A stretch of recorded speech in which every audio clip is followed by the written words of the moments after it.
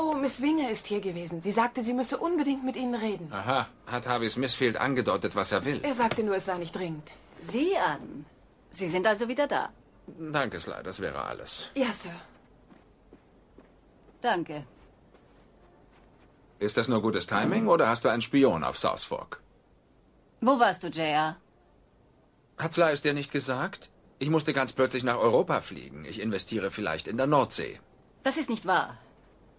Ich habe alle Flüge nach Europa überprüfen lassen. Du hattest nicht gebucht. Ich nehme oft einen Privatjet.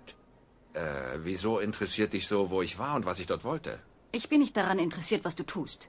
Ich liebe nur keine Überraschungen.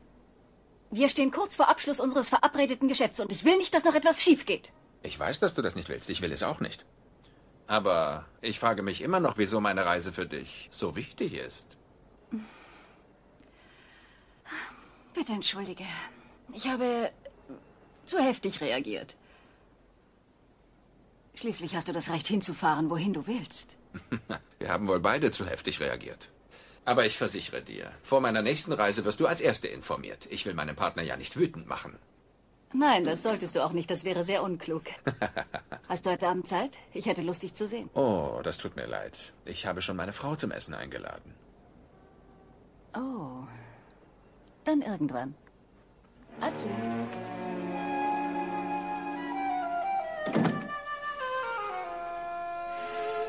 Was verheimlicht mir diese Frau?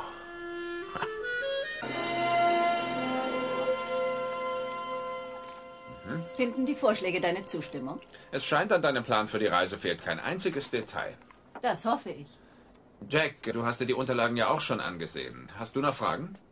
Also, ich weiß zwar, was wir auf Martinique tun werden, aber so ganz verstehe ich nicht, wozu wir da eigentlich hinfahren. Für uns ist es von großer Bedeutung, dass die internationale Ölindustrie sieht, wie erfolgreich Marinos mit Ewing Oil zusammenarbeitet. Diese Konferenz scheint mir wie geschaffen dafür, unser Einvernehmen zu demonstrieren. Das klingt eher nach viel Arbeit und nicht gerade nach Vergnügen. Ich bin sicher, wir finden auch Zeit, die Landschaft zu genießen. Wir nehmen sie uns einfach. Mr. Grace und ich wollen eventuell ein paar Tage früher hinfliegen. Und die Idee gefällt mir von Tag zu Tag besser. Hast du was dagegen, JR? Jack, du kennst mich. Du weißt, ich bin kein Freund von nur Arbeit und nie Spaß. Aber hier sollte das Vergnügen an zweiter Stelle stehen. Die Reederei Marinos und Ewing Oil wollen dort als Partner auftreten. Wie sieht es aus, wenn wir dort zu unterschiedlichen Zeiten ankommen? Das bringt die Leute nur auf falsche Gedanken. Finden Sie nicht auch, Ladies? Oh ja, du hast recht. Guck nicht so enttäuscht, Jack. Wenn die Konferenz zu Ende ist, stehen wir uns ein paar Tage und dann werden wir uns ins Vergnügen stürzen.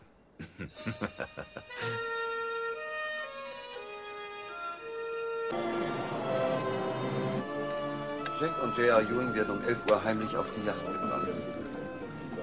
Die übrigen Gäste sind erst für 11.30 Uhr eingeladen worden. Wir wollen ihnen doch nicht zumuten, zu früh am Morgen nach dem Maskenball aufstehen zu müssen. Wie rücksichtsvoll von dir. Hast du die Presse informiert? Mhm. Und alle wichtigen Magazine und Zeitungsverlage sind eingeladen worden? Ja. Und die Nachrichtenagenturen? Die Regenbogenpresse? Den Reportern wird ein Frühstück serviert, bevor sie an Bord gehen. Das versetzt sie in positive Stimmung. Hm? Erstaunlich, wie viele Menschen man durch ein kaltes Buffet beeindrucken kann. Wahrscheinlich sind sie noch beeindruckter durch den Preis, den ihre Fotos erzielen werden. Sag mal, wie viel ist eigentlich ein Foto von Dimitri Marinos zurzeit wert? Für uns ist sein Wert gar nicht zu schätzen. Was hast du Jack bisher erzählt? Jack hat bisher nichts erfahren. Und er wird erst auf dem Flug nach Martinique informiert werden.